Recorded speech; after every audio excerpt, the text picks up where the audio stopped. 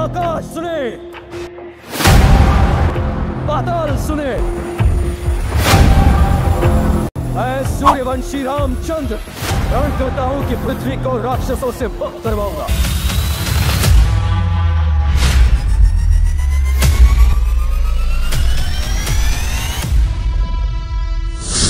तो भैया आज के टाइम किसी मूवी की सबसे ज़्यादा चर्चा चल रही है। तो वो है भैया नितेश तिवारी की रामायण। हालाँकि इससे पहले साउथ की कई बड़ी फ़िल्में हैं। जो इसी साल रिलीज़ होने वाली हैं। जैसे अल्लू अर्जुन की पुष्पा टू प्रभास अन्ना की कल की अट्ठाईस एडी और सूर्या की कंगुआ ऐसी कई फ़िल्में हैं। तो ऐसे में बहुत लोगों के दिमाग में ये सवाल ज़रूर आते होंगे। ये रामायण की शूटिंग जो है कब स्टार्ट होगी? और कब तक ये मूवी रिलीज़ होगी? देखो वीडियो सब कुछ बताते हैं। अगर आप भी फिल्मी दुनिया से जुड़ी जानकारी पसंद करते हैं तो प्लीज़ चैनल को सब्सक्राइब कर लीजिए। तो देखो रामायण को लेकर फैंस लोग जो है काफ़ी ज़्यादा एक्साइटेड है। क्योंकि भैया रामायण वो भी बड़े पर्दे पर देखने का मौका मिले। भाई सच में मज़ा ही आ जाएगा। अब ऐसे में बहुत सारे लोग जो है ये बात भी कर रहे हैं कि कहीं नितेश तिवारी जी रामायण का हाल आदि पुरुष जैसा न कर दे। तो भैया आप निश्चित रहिए ऐसा तो बिल्कुल भी नहीं होने वाला। क्योंकि नितेश तिवारी कोई छोटे मोटे डायरेक्टर तो नहीं। और उन्होंने अपने करियर में एक से बढ़कर एक फ़िल्में दर्शकों को दी है। और बॉलीवुड की सबसे ज़्यादा कमाई करने वाली फ़िल्म है दंगल जो की नितेश तिवारी ने ही डायरेक्ट की थी। तो ज़ाहिर सी बात है रामायण को भी अच्छी तरीके से डायरेक्ट करेंगे। देखो नितेश तिवारी की फ़िल्म रामायण का बजट जो है 500 से 600 करोड़ रुपए होगा। एंड फ़िल्म की शूटिंग जो है दो से तीन अप्रैल तक शुरू हो जाएगी। और इसी बीच ये भी बताया गया है कि रणबीर कपूर फ़िलहाल शूटिंग का हिस्सा नहीं बनेंगे। वो महीने के बीच में आएँगे जब उनका रोल होगा। एंड इस मूवी के अंदर रणबीर कपूर, साई पल्लवी, यश और सनी देओल लीड रोल में होंगे। जो की भारतीय सिनेमा की सबसे बड़ी फ़िल्मों में से एक होने जा रही है। जहाँ रणबीर कपूर राम की भूमिका में, साई पल्लवी, सीता जी के रोल में और सनी देओल को हनुमान जी की भूमिका में, एंड यश को रावण के रोल के लिए लिया गया है। और